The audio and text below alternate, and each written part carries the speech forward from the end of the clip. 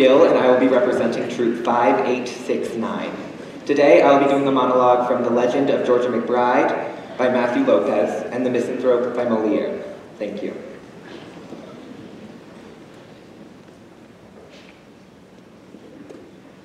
One night, back in Houston, I'm walking out to my car, about to drive across town to do another show when a, a brick hits me in the face. Right here. Then another brick in the back of the head, right here. By now, I'm on the ground and I look up to see two of Houston's most promising young citizens preparing to kick the living shit out of me. So I get to my feet. And I face my attackers and I say, well, show me what you got. They did all right.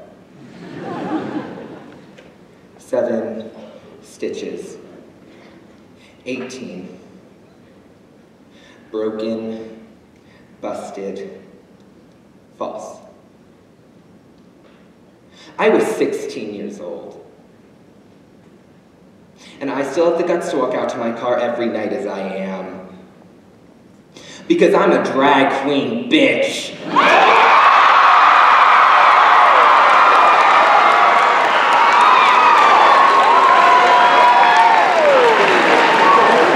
that's a hell of a lot more than you can say.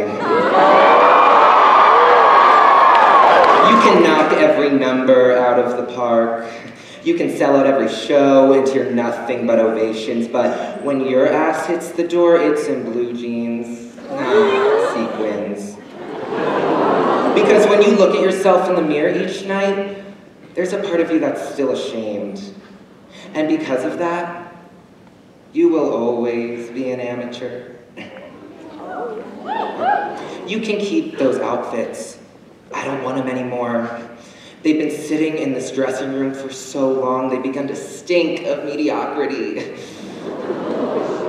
but maybe you're just used to that smell.